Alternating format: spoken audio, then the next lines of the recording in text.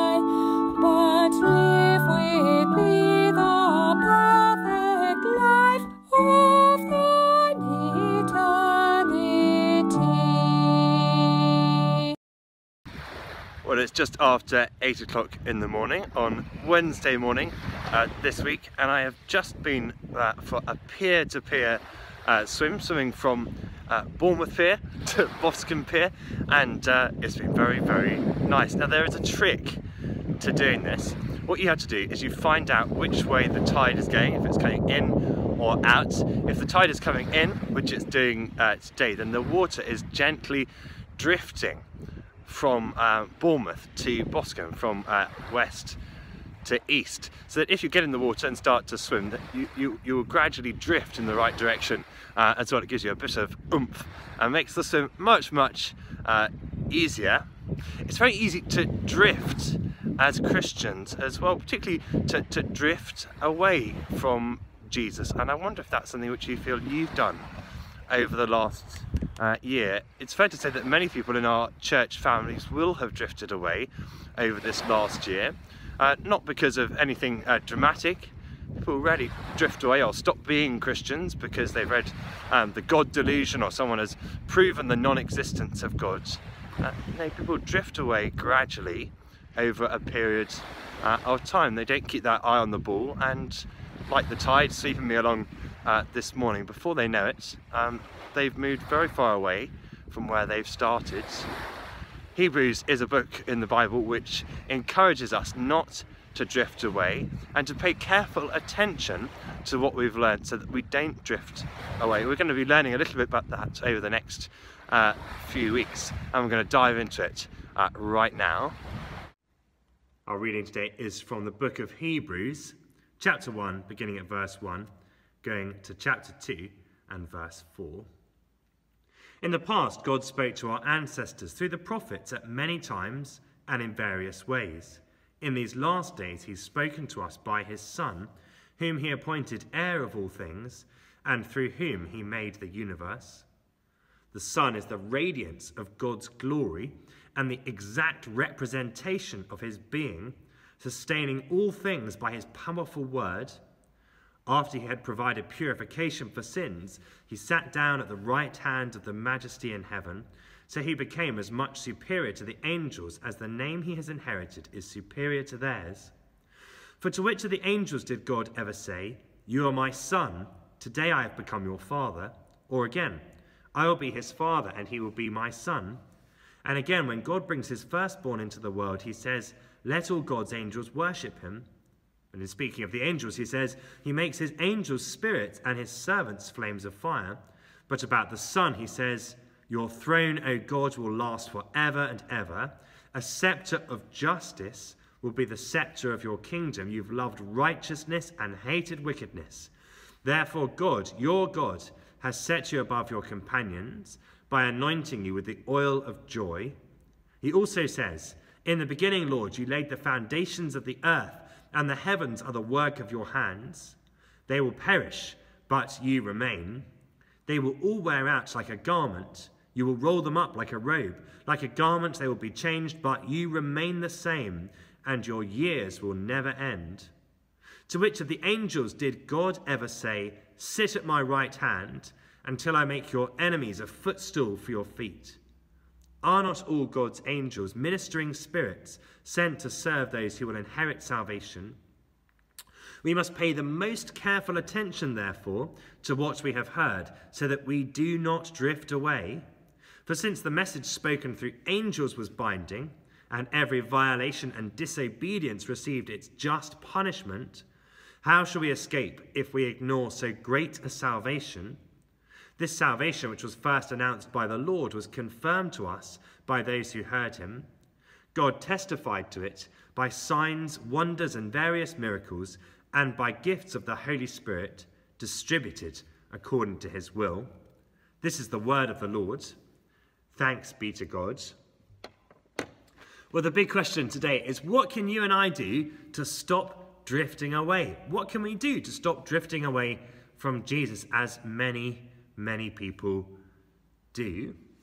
Uh, well, the secret to not drifting away, says Hebrews chapter 1 and the beginning of uh, chapter 2, is to understand who it is we're drifting away from when we drift away from following Jesus Christ. The key to not drifting away is to understand who Jesus Christ is. And that's how Hebrews begins his letter of encouragement encouragement to stick at it in the Christian life with a reminder of just who Jesus is, just who it is we're following.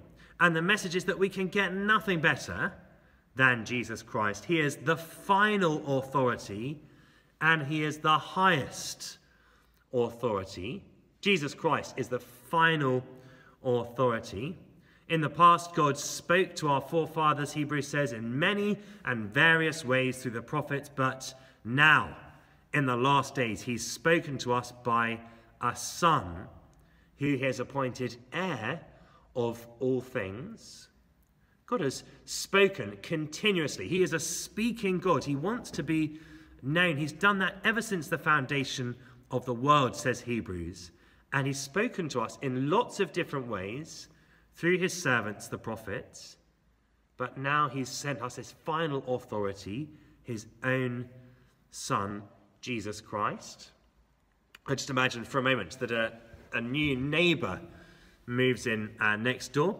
Uh, you don't see them move in, uh, but you know that somebody has, has moved in, and you get a note through the door. It's from your new neighbour, who turns out is called Chris, uh, and they would like to, to meet you um, at some point, and they're inviting you to a housewarming barbecue in a few weeks' time. Well, of course, speculation begins. Who is Chris? Everyone wonders. Well, uh, maybe the man of the house um, really hopes that Chris uh, is, a, is a nice chap he can play golf with, someone who's really interesting, lots of good conversation. Uh, maybe the lady of the house uh, is keen that Chris isn't like the last person to live next door with their obsession uh, with drum and bass music shaking the house every night to its uh, very foundations. that's her hope. Speculation continues, and then a, a, day later, a package arrives at the house. It's addressed to Chris, but obviously Chris isn't at home. Um, so uh, they wonder what is in the package, and what does that reveal about the sort of person Chris is? Well, Dad uh, feels the package; it's it's it's heavy, and he thinks, well, maybe it is a collection of golf magazines. That's the hope that he's building on. Uh, maybe the mum uh, in the house is thinking, this is really heavy. Maybe their weights. Maybe uh, Chris is a hunky bodybuilder. Yes, maybe that's, maybe that's it. Well, the guessing is soon to stop. Knowing that the parcel is round uh, at their house, Chris pops round and knocks on the door. And Chris, it turns out, uh, is in fact a woman. And everyone's surprised. And it turns out, sadly, she's not uh, into golf. The guessing games uh, can stop at that moment. There have been messages, quite a few of them, but as, as soon as Chris turns up in person, there's no higher or better authority than Chris herself in person. There's no need to guess or speculate anymore because everyone has had a chance to meet Chris. Well, in the past, God spoke in lots of different ways and sent messages to his people through the prophets. The claim that Hebrews makes about Jesus is that Jesus is God's final and perfect representation of himself. Uh, who is the Son? Well, he is the exact imprint of God's being, it says. You know, like uh, you get an image stamped on a coin. That's what the Greek words here, the exact image or the exact representation. When we, when we look at Jesus, we see the image of God Himself in person. There's no better authority than that. He is the radiance of God's glory, like the rays of the sun shining forth uh, from the sun, so that the sun itself and the rays are indistinguishable. So the sun is indistinguishable from God the Father. When we look at Jesus, Hebrews tells us, we see God in all his splendor, all his glory. And so we don't need to say, having met Jesus, well, I wonder what God is like. Could he be like this or could he be like that? Because in Jesus Christ, we have the final authority, the last words on what God is really like. It's the final authority. There's, there's nowhere better we could turn then for truth. If, if we drift away from Jesus, we're never going to find anything that reveals the truth of reality better than the person of Jesus Christ. That's the claim that uh, Hebrews makes here. The guessing games about what God is like can stop because God has shown himself in person. God spoke in many and various ways in the past through the prophets, but now he sent a son who is the heir of all things and through whom he made everything. Jesus Christ is the final authority, but he's also the highest authority as well. There's nobody greater, says Hebrews, than Jesus. And because of this, it is a great mistake to walk away from him. Jesus Christ is the highest authority. All things were made by him, says Hebrews, through whom he made the universe. He perfectly reveals the Father. He's the exact imprint of God's very being. And Hebrews here is a very sophisticated writer, by the way. He uses excellent Greek and he uses philosophical words here, words that were used by the philosopher uh, Plato to describe what God is like. This is uh, fancy theology. So he became as much superior to the angels as the name he's inherited is superior to theirs. Jesus Christ is the, the ultimate authority. And um, what comes next might seem rather strange uh, to us, perhaps hearing this for the first time. But the author of Hebrews compares and contrasts Jesus to the, uh, to the angels. And we'll find out why that is in just, in just a moment. Uh, he says, Well, to which of the angels did God ever say, You're my son? Today I've begotten you? And Hebrews quotes lots of different passages from the Old Testament to draw a distinction between the authority of angels, as splendid as they are. And let's remember that they really are splendid in the Bible. Every time someone meets an angel, they, uh, the angel's first words are, are Do not be afraid. Um, because angels are terrifying. They're splendid and magnificent. And when somebody meets an angel, their first response is to bow down and, and worship them because they think they've seen God. And so the angel corrects them. That's how splendid and magnificent angels are. And yet Hebrews says uh, that the Son is much greater. Because when did God ever say, uh, You are my Son? God says about the angels, Let all God's angels worship his Son. He says that the angels are the servants of the people of God.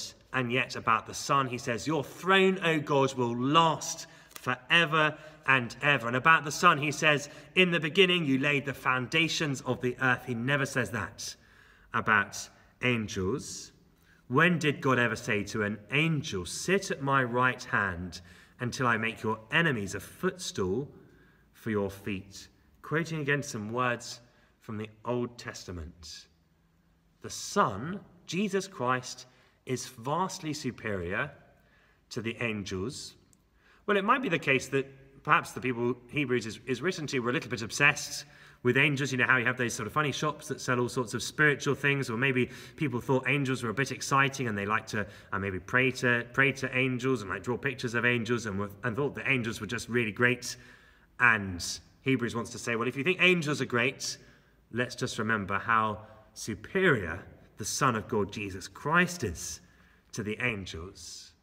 But the crux of the matter is here in chapter 2. We must pay the most careful attention, therefore, to what we've heard so that we don't drift away. For since the message spoken through angels was binding, and every violation and disobedience received its just punishment, how shall we escape if we ignore so great a salvation?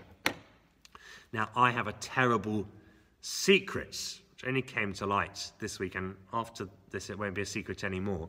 But for the first time in my life, I received a speeding ticket um, this week. Uh, I've got no excuse. I was breaking the, breaking the speed limits by you know a reasonable reasonable margin. I can't say everybody else was doing it, so it's not my fault or it's so unfair. And all those things people say. I was breaking the speed limit. I deserve to get the punishment. Now, of course, if I ignore um, the letter telling me about my, my speeding tickets, things are going to get worse and worse and worse uh, for me. At the moment, if I pay attention to it, it'll be fine. I'll do my driver's awareness course. Maybe I'll pay a small, uh, a small fine. It's really easy because I'll do the driver's awareness course online at the moment, and things will be uh, will be fine. If I ignore it, I may have a fine and points on my license and all sorts of repercussions that could follow from that. It is a dangerous thing to ignore that message.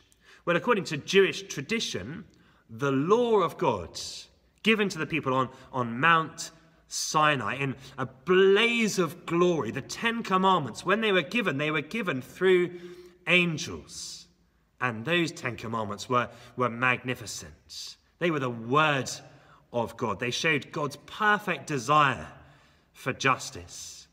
And because of that, every transgression of the law was met with an appropriate and just punishment. That's the glory of the law given through angels. Well, if that law given by angels can't be ignored, how much more so, says Hebrews, can the message given by the Son of God, the exact representation of God's being the final authority, the highest authority, how much more should we not ignore the message of Jesus Christ? When we drift away, we're turning our backs on Jesus Christ who has spoken to us. And those are words that shouldn't be ignored. Jesus is the final authority. We're never going to find anything better or newer or more perfect than what God has shown to us in Jesus Christ and Jesus is the highest authority, the one we really should pay very close attention to. Amen.